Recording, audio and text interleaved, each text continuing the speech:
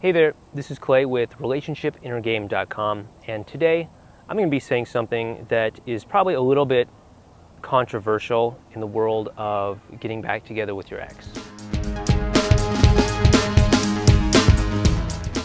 Hey there, this is Clay, and today we're talking about the fourth of the seven dangerous lies that ex-back gurus are telling you about how to save your relationship that will actually end up ruining your chances of getting back together.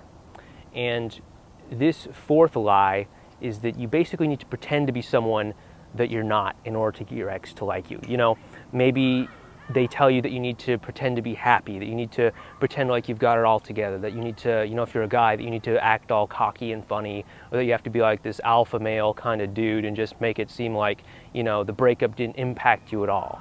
You know, all while you're out spending all kinds of crazy money at bars and clubs, uh, you know, taking pictures of yourself so you can post them up on Facebook to just sort of like make your ex think that you're having so much fun without them.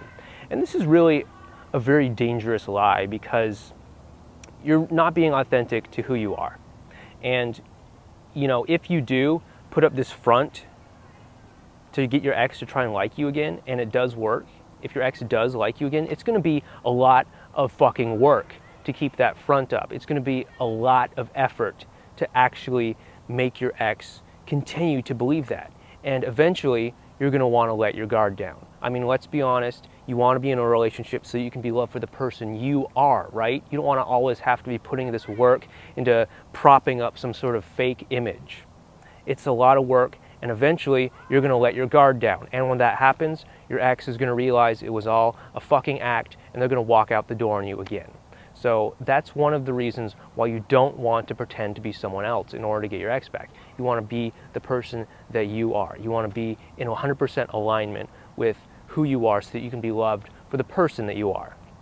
Now, if you'd like to learn more about the other six dangerous lies that ex-back gurus are telling you about how to save your relationship that could actually ruin your chances, go to relationshipinnergame.com and sign up. And I'm going to go ahead and send you um, all the information on the seven uh, lies. And I'm also going to tell you exactly what you need to do moving forward from here so that you can actually get your ex back and have the long-term relationship that you want in, uh, in the long haul. So go ahead and check out relationshipinnergame.com today. Thanks.